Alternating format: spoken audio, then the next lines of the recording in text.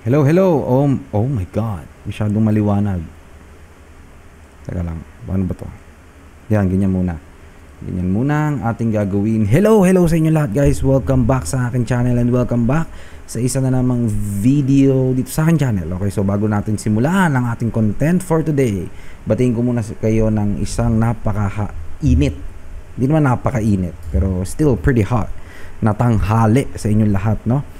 Okay? Tapos, bigyan ng shout out. Hello, hello. Shout out sa aking mga channel members. Okay? Bago natin simulan yung content. Shout out kay AB Sagani Mauro, Tezkie, and Willie Martinez. Hello, hello sa inyong tatlo. No, and hello, hello sa mga viewers ko. Uh, kamusta kayo ngayong Sabado? Hopefully okay lang kayo lahat and nakakapagpahinga. Yung mga gustong magpahinga dyan. And naging productive yung week natin. Ayos ba yun? Ayos yan. Okay? Tapos, yeah so guys if you want to support the channel financially you can do so by joining the channel membership membership and kung wala naman kayo pang support financially walang problema dyan kasi you can still give support sa channel natin by subscribing liking this video and mag-comment kayo share my videos all that jazz Okay, so ayan. Hello, hello sa inyo lahat guys. Ito na yung ating announcement na lagi ko sinasabi sa inyo ng mga nakaraang video. Um, Ayun. So, bali, nakikita nyo dyan sa screen nyo, Project Sapphire RO Checklist. Okay, so, eto na. Sisimulan ko nang gumawa ng Ragnarok server natin. Okay? It will be a community-driven Ragnarok. Pero still, yung mga features, eh, sa akin manggagaling. Kung ano yung mga trip kong ilagay doon ng mga features, sa akin manggagaling. Wala tayong masyadong custom item, wala tayong masyadong costume, wala tayong masyadong mga instances. Ayan. So, kumbaga, yung old school na old school talaga siya na mala dark RO Force. Okay. So, sa mga nagtataka dyan, Project Sapphire RO, hindi yan yung pangalan ng server name. Kasi, oh, I'm sorry.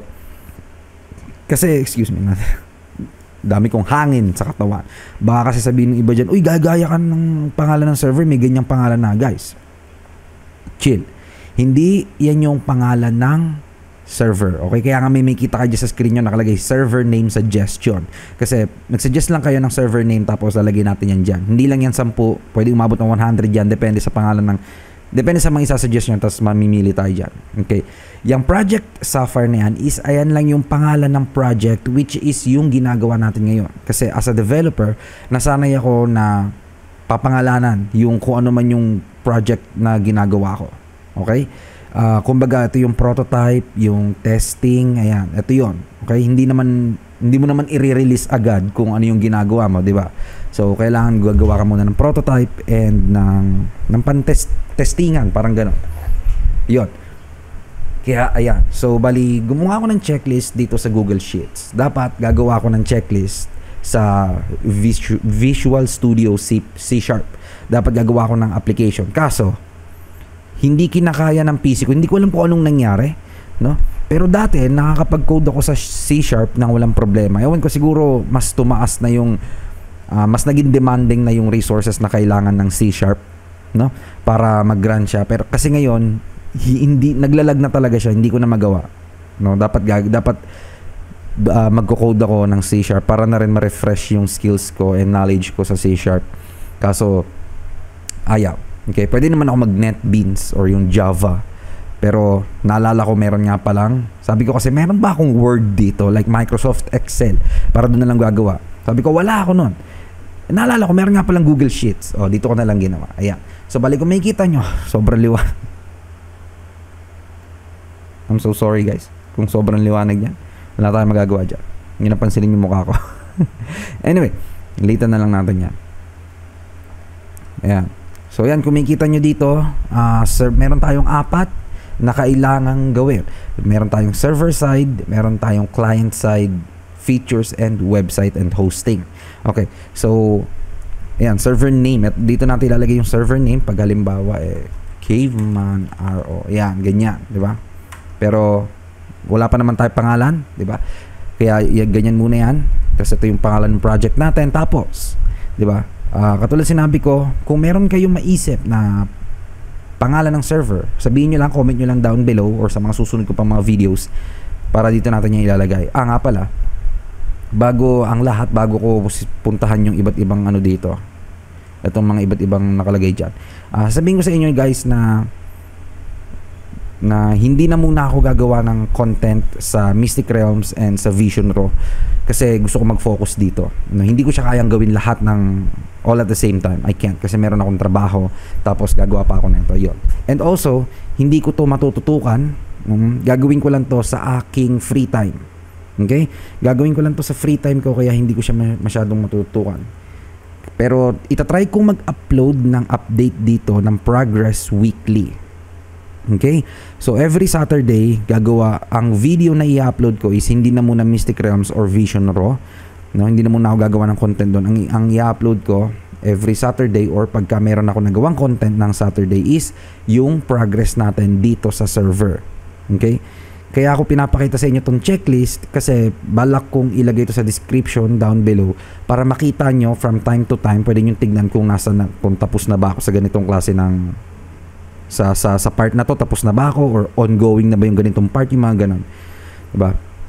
Tapos, isa pa palang bagay, eh, yung mga channel members, no, na mag, yung mga current members ko sa channel, tapos yung mga gustong magpa-members, magpa-member pa in the future, eh, mauuna nilang ma-view yung progress netong channel, nag, ay, channel, netong server na gagawin ko ng 2 weeks. Ibig sabihin, yung mga regular viewers ko, two weeks late yung mapapanood to. Pero still, mapapanood nyo pa rin naman, kaso nga lang, late. Hindi katulad nila na, uh, halimbawa, ginawa ko siya ng Wednesday, sa Saturday, mapapanood na nila agad. Okay? So, basically, two weeks behind lang naman yung regular viewers. And also, hindi ko may pa-promise na every Saturday ako ma, ma makakapag-upload or makakagawa ng update dito. Okay, bakit bakit bakit ko gagawin 'yon yung uh, advance, no? Yung mga members. Well, kasi para isa na rin sa mga perks kasi medyo nahihiya ako, nagpapa-member sila dito tapos ano ko wala nila shout out, 'di ba? So, isang perks na rin na makukuha niyo 'yun. Tapos iniisip ko in the future pagka may beta release na tayo nito is yung mga channel members ko ang magbe-beta test. Okay, sila yung magbe-beta test ng aking server tapos mga etc etc. Halimbawa closed beta or alpha. Um, titignan pa natin yan. Pero ayun yung mga big announcement, no? Gagawa na ako ng server, sisimulan ko na. Tapos um yun nga, yung 2 weeks advance or 2 weeks late no yung para sa mga regular viewers ko 2 weeks late nyo mapapanood yung progress dun dito sa server na ginagawa ko. Ayun and also hindi na hindi na muna ako gagawa ng video or ng content sa Vision Raw and sa Mystic Realms. Okay pero gagawa pa rin ako ng content every Monday yung Mobile Legends or uh, Wild Rift. Tapos every Wednesday para do sa palit o sulit. Yun ganun pa rin same same Okay, so with all that being said, ipapakita ko sa inyo kung ano ba yung mga ginagawa ko dito and ano ba yung mga kailangan natin gawin. Okay, so kailangan ko actually ng tulong nyo dito kasi gusto ko yung kung ano yung like suggestion nyo, no? Uh, itatry kong i-implement yan. Wag lang talaga yung, uy, damihan mo yung custom item, damihan mo yung weapon, mga ganun kasi I'm not gonna do that. hindi hindi ako maglalagay dito ng sobrang daming custom items and custom NPCs, custom instances, mga ganyan. Huwag niyo na asahan yun kasi hindi mangyari yun. Or, I don't know, tingnan natin kung okay lang naman. 'Di ba So, first, 'di ba nakalagay dito server side, uh, complete na yan nakalagay kayo pero uh, tanggalin muna natin halimbawa pending i-pending muna natin siya pending pending pending yan kumikita nyo di ba nababawasan um, yun nababawasan siya tapos dito is nag 0% yan um, teka lang asan ba dito yan uh, well anyway so bali ayun uh, ipapakita ko sa inyo kung ano yung mangyari. Halimbawa, uh, na-share ko na to in public na pwede nyo na i-view. Hindi nyo po pwedeng i-edit, pero po pwede nyo i-view. Halimbawa, ayan, 'di ba, GRF, 'di ba? Sa server side to, guys, na wala naman kayong ano dito, wala na kayong uh, basta hindi niyo na kailangan malaman pero sasabihin, ipapakita ko pa rin sa inyo, 'di ba? Halimbawa sa GRF tapos na ako, i-mark ko siya as complete. May kita nyo, 'di ba? Ayan. Pero ngayon, since hindi pa ako tapos sa GRF, uh, pending pa siya sa con files or configuration files hindi pa rin ata ako tapos dyan Actually, meron ng server. Ipapakita ko sa inyo mamaya. Uh, nakakapag-login na. Pero ang daming errors. Pero that's fine. At least nakakapag-login na. So, excuse me. Uh, Lua and LUB files, di pa rin ako. Sa database, I think I'm done with this one. Yeah. I think I'm done. Sa, ito in progress natin to. Tapos, conf files is in progress. GRF, wala pa. Q natin yan. Q. Okay, next naman natin is sa client side. Again, hindi nyo kailangan malaman to. Ako lang, kumbaga ako yung makakagawa nito. Okay? Yun. So sa KRO, we're, we're done. Sa translation, we're, hindi pa rin tayo tapos sa translation. Mamaya may kita nyo yung translation natin sinasabi ko. Setup PXE, wala naman, dapat nga wala to dito pero complete na yan. Patcher, wala pa tayo yan. Uh, pending. Kasi hindi pa natin, hindi pa ako gagawa ng patcher hanggat hindi pa na online. Siyempre, ba't ako gagawa ng patcher, di ba? Um, Arrow client, uh, in progress pa rin to kasi hindi pa ako nakakahanap ng stable na RO client. Next, um, mamaya na to features kasi yun yung inaabangan ng halos lahat. Okay. So, dito wala pa tayo. Uh, pending pa tayo dito sa front end design, sa uh, front end, uh, sa responsiveness wala pa, sa back end pending. Uh, isa pa palang dahilan kung bakit medyo matatagalan pa yung katapusan nitong server na to eh kasi mag-isa lang ako magde-develop nito from the game itself up to the control panel ng website, uh, ng uh, re- registration hanggang sa website. Ako, ako lang, database, back and front end, lahat ako. Um, hindi ko alam kung hihingi ako ng tulong sa best friend ko na web developer din. Pero, probably not. Kasi baka magpabayad yun. Wala akong pap- wala akong ipambabayad do.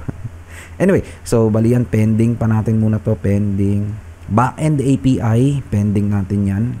Tapos, wala pa rin to. Pending and pending. Yeah. So, bali, pending.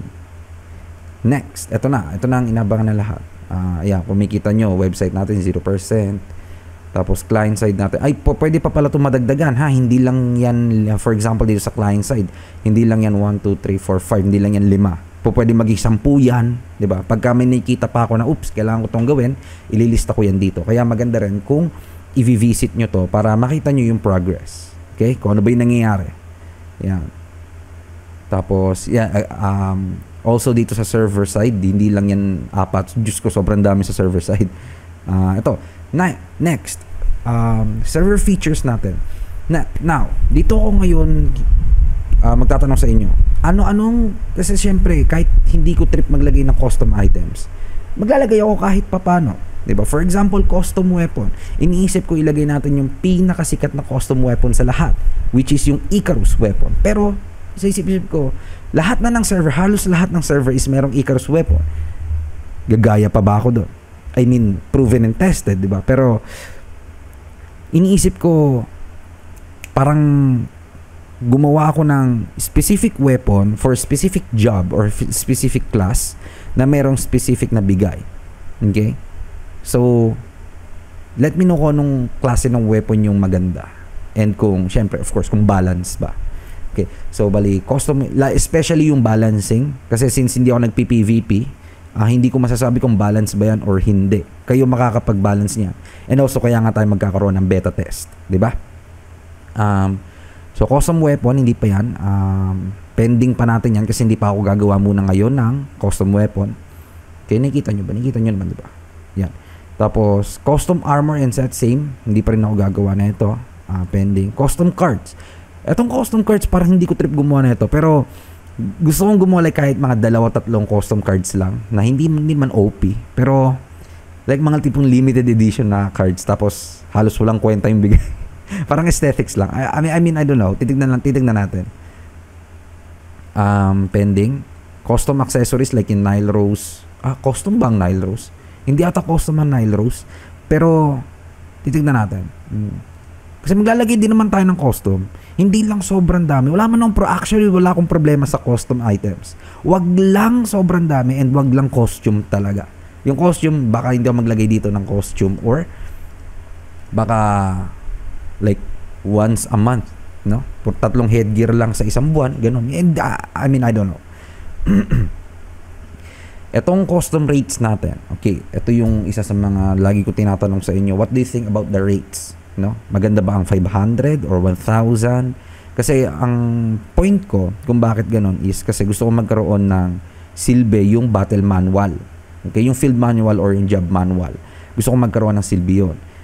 And kung gusto ko magkaroon ng silbi yun, syempre kailangan ko siya ilagay sa store. It's either vote points or activity points or I don't know, may, may maybe donate. uh, hindi ko alam.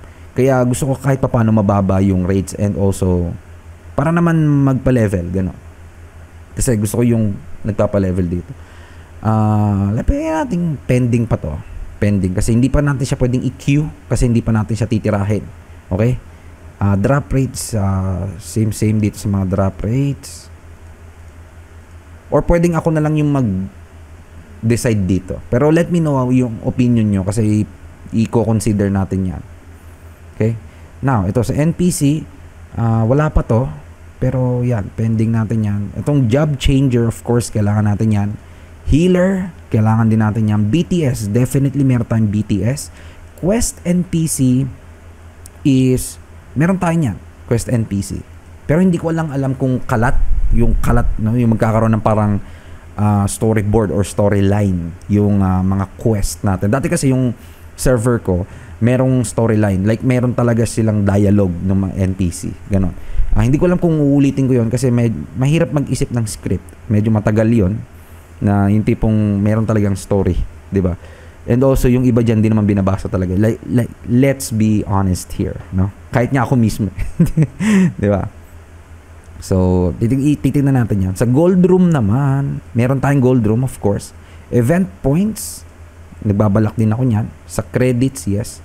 Broadcaster, yes coins. Itong coins is gusto kong buhayin yung coin system. Like bronze, bronze, silver, gold, platinum, tsaka mithril coins. Gusto kong buhayin yung mga coins na yan kasi dati, ayan yung currency ng Ragnarok.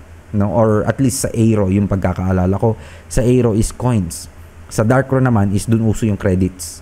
Okay? So, titignan natin kasi ang credits is 10M isa. Medyo nakaka ako honestly medyo nakasar ako doon kasi bakit 10M isa? 'Di ba? Medyo nakakalito. So pag 100 pieces or pag 10 credits is 100M, tama ba? 10M isa, oo, 100M. So 100 credits is 1B. Medyo hindi na kasi basta it's a myth thing, no? It's a myth thing.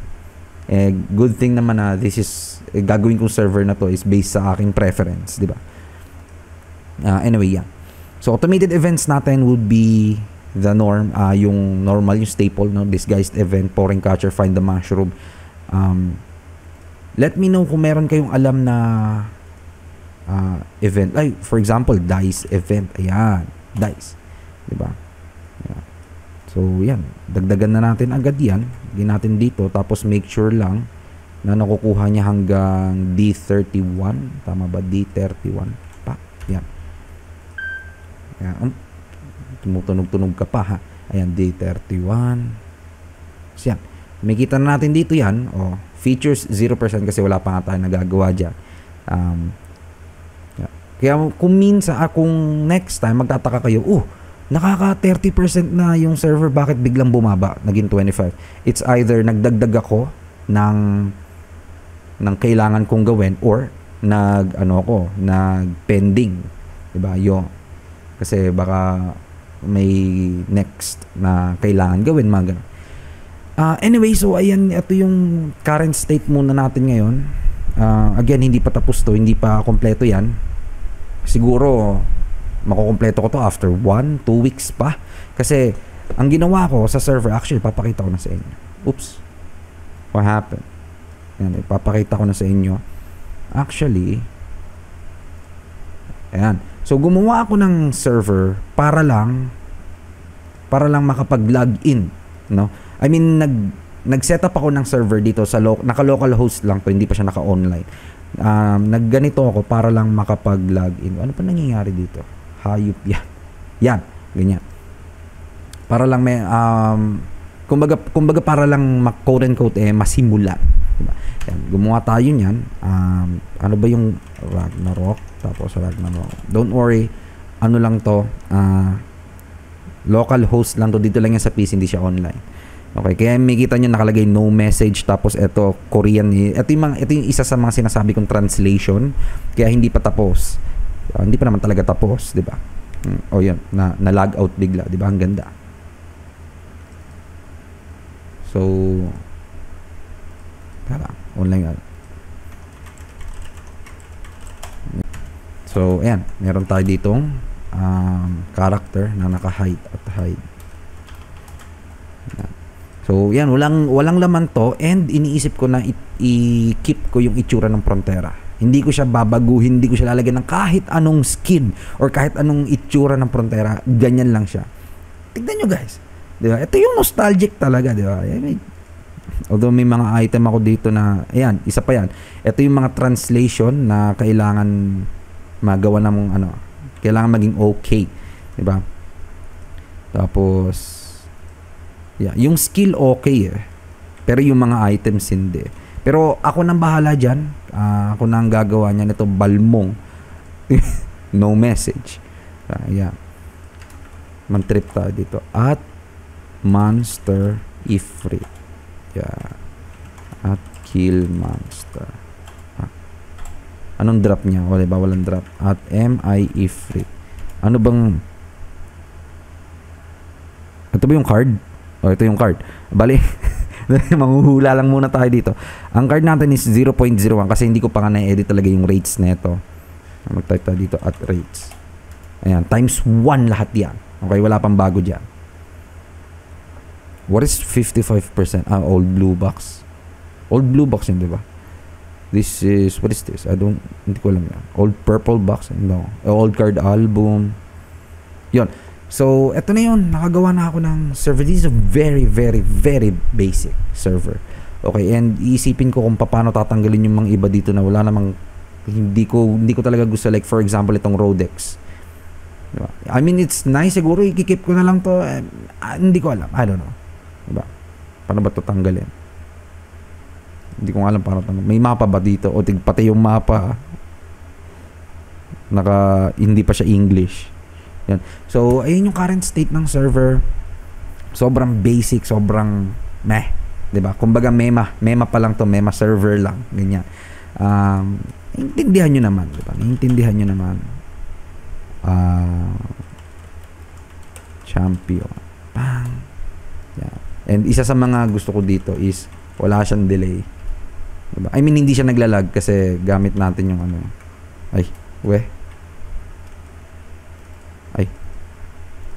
Teka lang, bakit ganun? Ay, hindi nga pala pwedeng equip yun, no?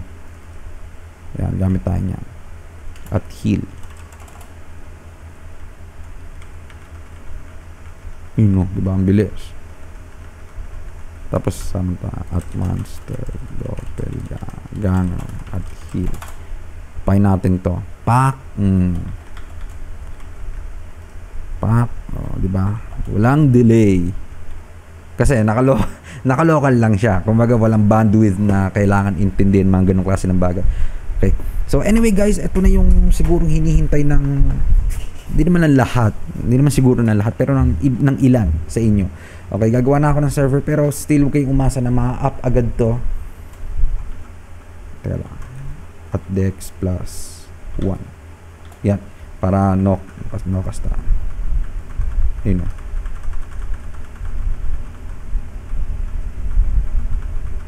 Teka lang, AG base ba to? Hindi to AG base, di ba? At, at AG minus. Pwede ba yun? Ngayon ko lang to gagawin eh. O, pwede nga.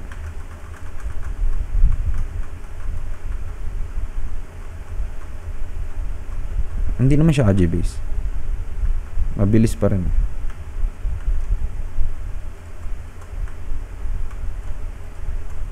Anyway, so yeah, that is it for, I think that is it for the video. Again, uh, teka lang, pakita ko sa inyo ulit.